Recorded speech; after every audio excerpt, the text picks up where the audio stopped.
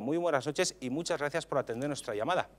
Hola César, buenas noches. Lo primero, si me permite, ¿cómo se encuentra? Porque tengo entendido que está usted en cuarentena o no. ¿Cómo es esto? Pues bueno, pues eh, al estar el sábado y domingo con dos personas que han dado positivo en el virus, pues eh, me, me, recluí en casa, dejé a la niña con su madre, llamé a continuación al teléfono 900 eh, y llevo desde el martes, miércoles y jueves que he llamado en las tres ocasiones He dado positivo en el test telefónico, pero estoy esperando que alguien venga a hacerme el test eh, real y en eso estamos, César. Es decir, eh, esta mañana he hablado con salud eh, policial y que me han dicho que me quede en casa en previsión, que me dé de baja por, por si acaso, pero que de momento aguante los 15 días aquí hasta que alguien me haga el, el test o alguien me diga qué tengo que hacer. Pues en, primer lugar, como no puede ser de otra manera, nuestros mejores deseos de que dé negativo en ese test y si por desgracia es positivo, pues lógicamente que no tenga mayores consecuencias para su persona. Pero dicho eso, también lamento profundamente que en esta crisis no esté usted operativo y en el campo de batalla para que nos pueda contar muchas cosas jugosas que siempre nos suele contar. Tenemos muchas preguntas para usted, don Alfredo. Por ejemplo, ¿cómo se están viviendo estos días en la Policía Nacional? ¿Se están preparando planes de contingencia ante los diversos problemas de orden público que pudieran darse por lo que usted conoce o ha podido ver eh, en su cuerpo, en la Policía Nacional? Mire, César, eh, una vez más me da pena decir que es lamentable que estemos como estamos. Es decir, que estemos reclamando medios, que veamos que el Ministerio de Sanidad haya dicho que prácticamente somos inmunes, que no se acoten o nos digan qué hacer o qué no hacer con respecto a intervenciones en la calle, detenciones, eh, recogida de denuncias. Es decir, una vez más, los que tenemos que proteger no estamos protegidos ante lo que a todo el mundo se nos viene encima. Este primer apunte. Por tanto, lo que usted ha dicho que debería haber, debería haberse hecho y estar haciéndose al respecto de qué hacer en esa situación de prealarma para luego a ver qué hacemos a partir de mañana la alarma. De momento no hay nada, simplemente estamos el día a día trabajando como podemos, con las mascarillas que tenemos los que los tienen, eh, cogiendo denuncias a metro y medio del compañero eh, y teniendo igualmente, porque evidentemente nosotros no podemos tener, porque tenemos que estar encima de, los malos. Le digo, pero de momento, hasta este momento, no hay nada, eh, César, en el cual eh, nos diga cómo acometer eh, estos hechos, salvo lo que le digo de que el Ministerio de Sanidad, el informe que sacó de, prevención, decíamos que éramos un colectivo de bajo riesgo y, y pienso, claro, que pensarían que somos inmunes eh, que el chaleco antibalas que llevan algunos compañeros en la calle nos inmuniza de coger el virus. Es lamentable. Don Alfredo, ya sé que no es su cuerpo policial, es el cuerpo hermano de la Policía Nacional, es decir, la Guardia Civil. Hemos, por lo que hemos leído en prensa, con datos acreditados, parece ser que ya hay 10 agentes de la Guardia Civil que han dado positivo por coronavirus. En la Policía Nacional, ¿qué datos baraja usted de agentes que puedan estar, al menos no hábiles, como es su caso, que puedan estar en cuarentena ante un posible coronavirus o que ya hayan dado positivo en la propia Policía Nacional? Pues le puedo asegurar que por conocimiento personal hay varios, por cifras oficiales no han dicho nada, no sé si por no crear alarma o crear eh, miedo a los, al resto de compañeros,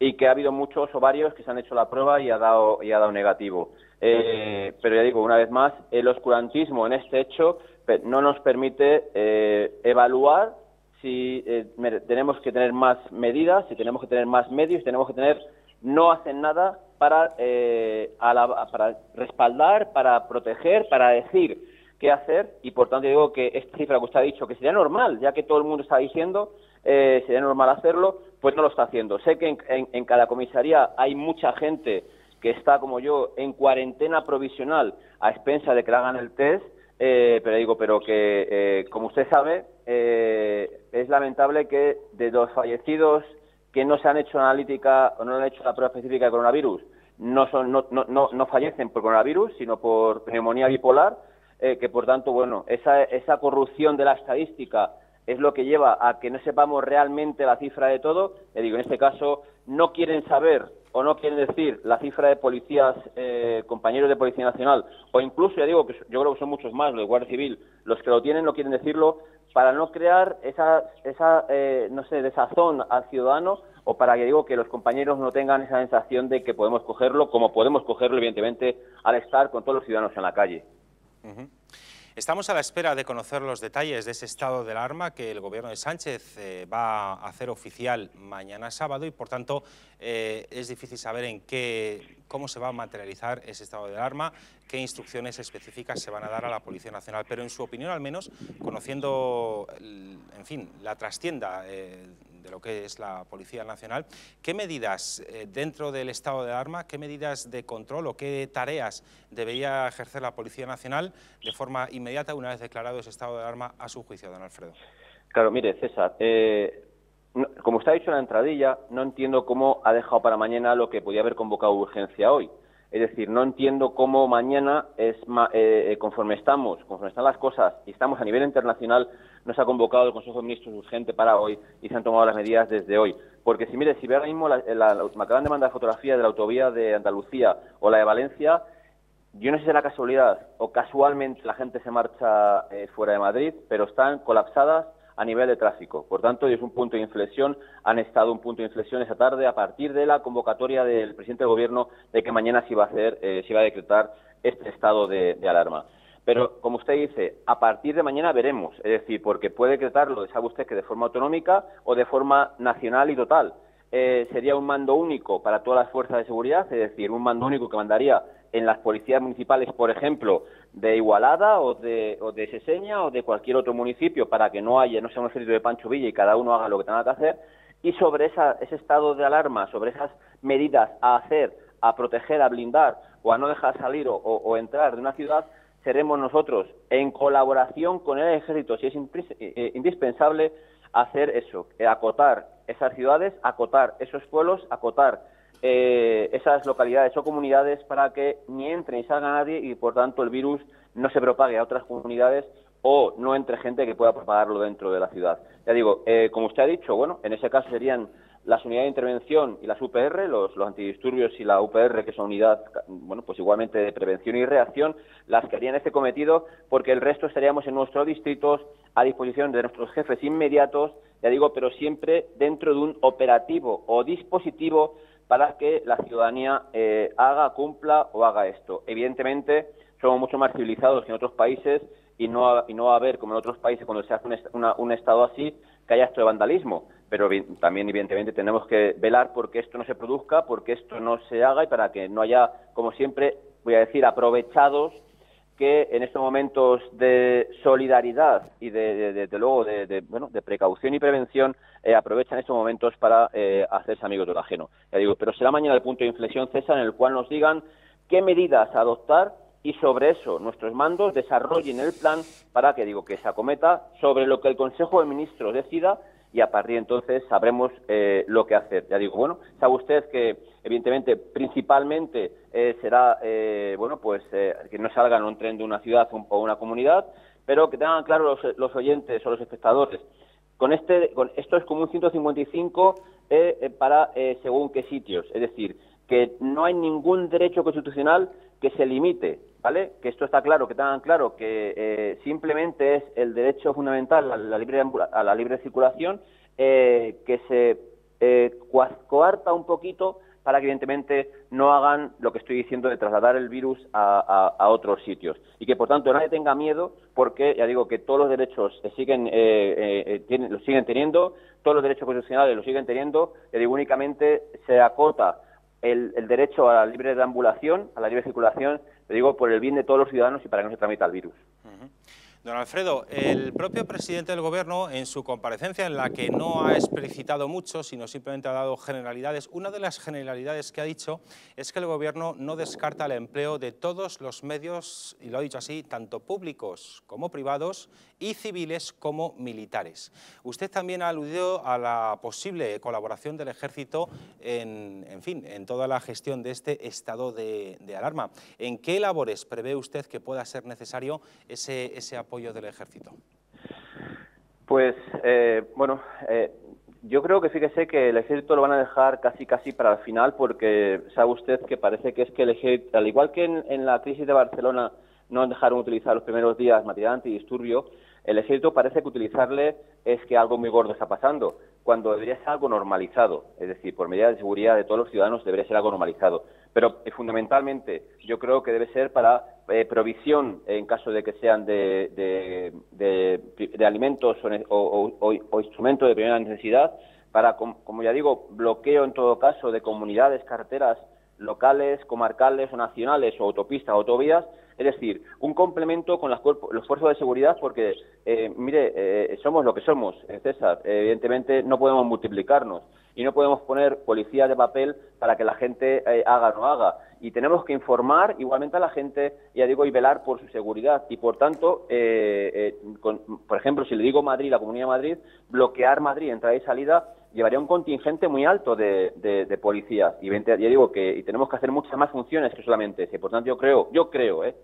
Dentro del sentido común, que sabe usted que es el menos común de los sentidos, eh, sería simplemente un complemento nuestro, es decir, un refuerzo nuestro para, ya digo, para que eh, todo sea con más seguridad, sea con más tranquilidad y, desde luego, con una normalización que debe ser la que debe privar estos 15 días, estos 15 días que eh, tiene, puede durar el estado de alarma, pero que, puede ser prorrogado, prorrogado por el Consejo de Ministros, pero que principalmente son estos 15 días eh, que dicen que son los peores que nos vienen encima con el tema del virus a partir de este fin de semana, le digo, por eso digo que serían un complemento normal, le digo, para que los ciudadanos estén más tranquilos, para normalizarles y desde luego informarles al respecto todo lo que quieran. Pero que ya digo, vuelvo a decir, César, que no piense nadie que eh, esto es una, una, voy a decir, una dictadura, por decirlo de alguna forma. No, no es simplemente eh, es una, una requisa, una, una, limitar la circulación o permanencia de personas y vehículos durante unas horas determinadas en unos sitios determinados, sin más.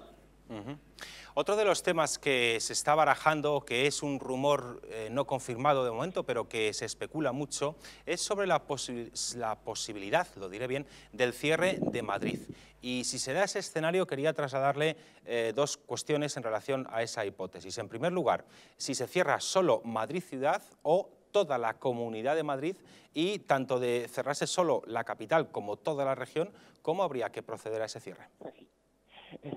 Eso es lo que estaba antes intentando explicar, que era muy complicado porque, como usted ha dicho, mire, eh, yo llevo hace días diciendo que después de la suspensión de las clases, eh, después del teletrabajo en, muchas, en, muchos, en muchos trabajos, empresas o incluso en, en, en sitios de funcionarios, lo que haya conllevado es que los parques estaban llenos de niños, los bares estaban llenos de hombres, hacían quedadas a tomar un pincho, para hacer una barbacoa o para irse a la playa o a la nieve cuando era todo lo contrario. Esta medida era para quedarse en su casa cada uno. Es decir, hasta este momento lo que hemos demostrado, ha demostrado mucha gente, es poca responsabilidad con el hecho en sí. Bien, ahora llevamos ya, ya días, y sabe usted, en el cual se está diciendo que Madrid se va a cerrar, como usted ha dicho. Madrid se va a cerrar y parece que es que los que han hecho mejor los deberes son el alcalde de Madrid y la, y la Comunidad de Madrid en el sentido de tomar las medidas más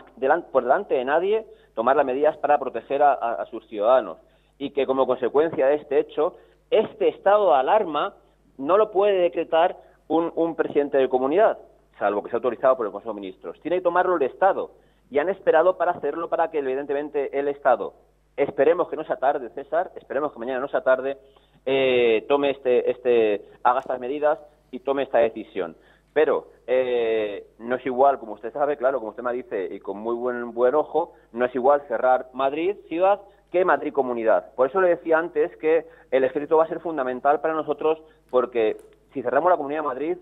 es, son muchísimos, eh, muchísimas entradas y salidas, muchísimos sitios de acceso para entrar y salir de la comunidad y que por tanto nosotros no llegaríamos. Eh, evidentemente, eh, este, este estado de alarma va a decir si es simplemente al ámbito de Comunidad de Madrid. Yo creo, como están las cosas, que va a ser nacional, yo lo creo porque evidentemente viendo todas las noticias, viendo que lo ha hecho también el, País Vasco, viendo que en, Cataluña ha habido, ha habido dos o tres ciudades o pueblos en los cuales ya llevan desde ayer en esa situación, va a tomarlo a nivel nacional para que evidentemente la gente, en vez de irse a la playa, se quede en su casa, en vez de irse a la nieve, se quede en su casa, y en vez de irse a tomar vino, se quede en su casa tomándolos para, para bien de todos. Pero, ya digo que policialmente no llegamos a todos a todos los, los sitios, policialmente somos los que somos, le vuelvo a repetir, y que evidentemente eh, mañana espero, espero eh, decirle a usted que está todo en orden, que está todo ok, que estamos eh, los que estamos y está haciendo todo perfectamente. Le digo porque de mañana va a depender el decreto en el cual diga qué hacer y cómo hacerlo, para luego poder desarrollarlo por parte de los jefes de unidad, ya digo, echando mano de quien tengamos que echarlos y teniendo claro que eh, eh, vamos a, a, ser, como aquel que dice, los malos de algunos de las películas, porque van a pensar que, claro, no le dejamos marchar, si no le dejamos salir, no le dejamos irse a cualquier otro lado, y que va a conllevar, fíjese, eh, César, eh, cuando haya unas horas determinadas de, de coacción de, de, o sea, de, de no permitir, de, limitar la circulación de personas o vehículos para según qué horas, eh, algunos van a pensar que no les dejamos salir, que no van a poder hacer, que no van a poder comprar, eh, y eso va a conllevar, pues eso, estados de nerviosismo que tendremos que afrontar eh, de la mejor manera posible y que, por tanto, este decreto de mañana veremos, esperemos que contemple estas situaciones para que, ya digo, que los nerviosos no, no lo estén y nosotros sepamos afrontar todas las situaciones con la mejor tranquilidad, con la mejor normalización posible y sin que haya ningún incidente. Digo, pero preferible, eh, yo creo, conforme veo las noticias, debería ser nacional, no solo Comunidad de Madrid, debería ser nacional, porque ya digo que las noticias que nos llegan de otras comunidades son, son casi, casi más lamentables que las de Madrid.